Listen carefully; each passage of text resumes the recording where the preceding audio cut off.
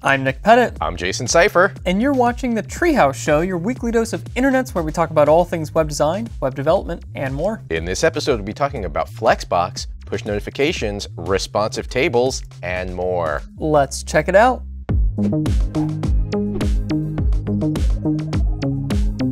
First up, we have a small piece of JavaScript called TinySort. TinySort is a plugin that allows you to sort HTML elements by any text or attribute value. I know that because it says it on the web page right here at the top. Now, why in the world would this be useful? Well, let's say you have a bunch of different nodes. I'm going to just jump to the examples so we can see it here. Here is a list of list items, and we can sort that, and it will sort in alphabetical order by the first item in the list, the first character here. So you just initialize that by calling TinySort and then give it a selector. Now there are a ton of different options for this. You can sort by different nodes inside here. So here we have a span with the same information. Hit sort and once again it goes in alphabetical order. This also works on numbers as we can see right here. I'll just hit this little sort button and wow, these numbers are sorted right in the list. Now, this isn't limited to just list items. They show here, oh, hey, maybe I want to sort a table. Well, go ahead and do that. Wait, that was the wrong item. Let me, let me find the actual table here. Here we go, sorting tables. With just this little amount of code, you can get a sortable table using only one single plugin. So really easy to use. Just go ahead and initialize it on your page, then call TinySort with the list of nodes. We'll have a link to this in the show notes, which you can get to right below this video. Very cool stuff. Well, next up is a really cool tool called Flexbox Playground. And you can adjust all sorts of different settings that basically determine which properties are going to be applied to this group of elements.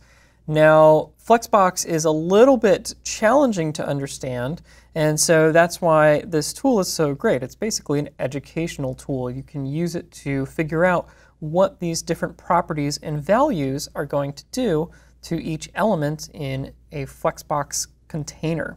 So first, you can adjust the width of each one of these children. So that's helpful. You can add children if you want to or delete them.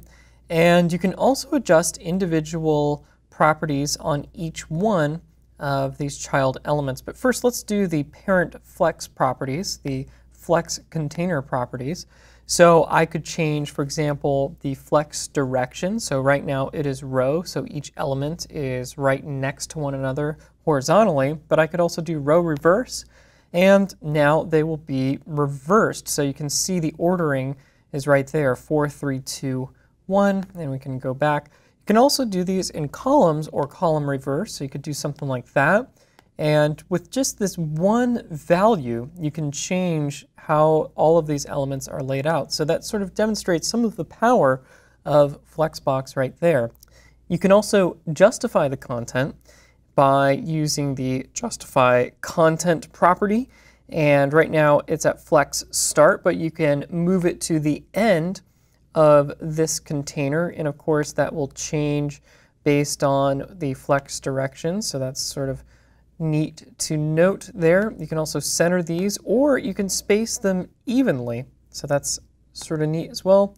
And then finally, I'll just show you how you can adjust some of the properties on the child elements. So for example, let's say we had number one or two here or something like that. And as I change that order value, I said, well, I want this to be one. Well, now one is at the end because it comes after zero here. So I could maybe change three to be like two or something like that. And now that will be at the end. So I think you get the idea. But anyway, this is a really wonderful tool to help your help you get familiar with how Flexbox works. Very nice. Next up, we have a very long tutorial on the HTML5 Rocks blog, and this is talking about push notifications on the open web. Now, if you are trying to do development and send push notifications in Chrome versions 42 and up, there is a new push notification API that you can use. Now, there are a lot of things that you need to do in order to start using this push API. And it starts by using service workers. Now, this is a really long article, so I'm just going to touch on some of the finer points of this.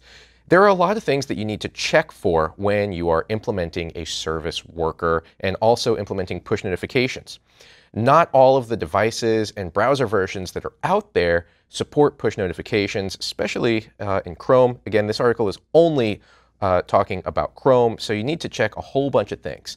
And they tell you to default to having enable push notifications off because the odds are pretty good that the browser is not going to support service workers and push notifications at this point. So here's a little flowchart saying, hey, is push supported and do we already have a push subscription? If yes, then okay, we can enable these push notifications. If not, we don't need service workers working in the background and doing a whole bunch of stuff. So then they show you, okay, here is the code that we need to check all of those different things. And this is very thorough. It says, okay, uh, do we have all this supported? All right, let's go ahead and register a service worker. And then here is going to update the text saying, all right, we've got that subscribed. Now let's go ahead and disable the push notifications if the user doesn't want that. So the other interesting part of this is that you need to make a project on the Google Developer Console. This uses the Google Cloud Messaging API to handle sending push notifications. Once you do that, you get a project and you also can see some little details about your API. So, okay, you, go, you got all that, write a web app manifest, and then you need to actually let the user say, hey, I do want to subscribe to push messaging. Then finally, you can send a push message once you, once you have all that. And there's a nice little animated GIF here that shows you what your push notification might look like. So these are just the basics of sending push notifications. It gets to be a little bit more in depth in the article, and there is certain browser support that you need to take into account. These push notifications are going to work on Google Chrome 42 and up on the desktop and on Android. Now on the desktop, the notifications are only going to show up if Chrome is open, but on Android, notifications will always show up because the user is subscribed to a push messaging service. Anyway, for more information, check out the article in the show notes. It's definitely pretty interesting how involved that is and how thin the browser support is right now. So yeah. I almost feel like that's something that maybe you'd want to hold off on for a little while. You know, unless it, you really want to do it. It depends on the app because Safari supports push notifications and they have their own separate API. And the reason it's so involved is because it requires a server-side component to it. Right. So this is push notifications on the web on Android. Basically, if you want that push notification in the notification center to come down. Either way, very cool stuff. Uh, next up, we have a blog post on the Living Social blog about responsive tables in pure CSS. Now, there have been a lot of blog posts about this historically over the past five or so years where responsive design has been in existence because, because tables notoriously don't look good on mobile devices. It's really hard to make a large table with a lot of data in it compressed down to a mobile device like this. So a lot of those solutions have involved JavaScript, but one of the requirements for Living Social is that they wanted to do this without using any kind of JavaScript because there are all sorts of plugins that do that, and they link to some of them there. And they also wanted to have localized text. So one suggestion that Chris Coyier made was to store the text in style sheets, which isn't too bad, but also not doing that is nice because it keeps the content in the views, so it keeps it in the HTML where it belongs. And then they also didn't want to just adjust the font size to like 8 pixels and just cram all the text into this tiny table. So what do you do? Well, they had this pretty clever solution, and it involves the pseudo elements before and after. Now, you can use these elements to match the first and last children of selected elements, but this is just typically used for adding aesthetic elements, so adding like an arrow on a tooltip or something like that. However, they use this technique instead to apply data labels. So in their HTML here, they have these attributes that they're calling a data label, and then they use these values here to sort of label each part of their table. And then in their CSS, they can use those before and after pseudo elements uh, to apply the content property. Now using the content property, they then plug in the value attribute and they grab that data label value. So that then gets plugged into the before and after pseudo elements. So where does that go?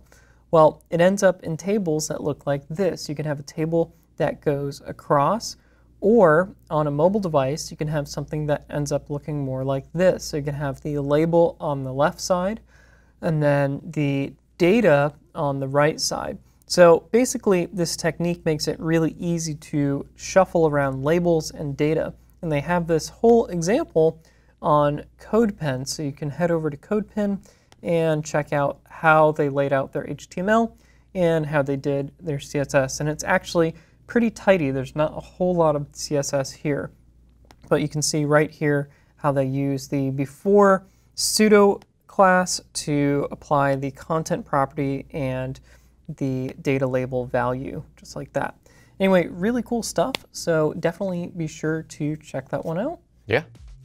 That is all we have time for this week. I am at NickRP on Twitter. And I'm at, and I am at. For more information on anything we talked about, go ahead and check out the show notes right below this video. Thanks so much for watching, and we'll see you next week.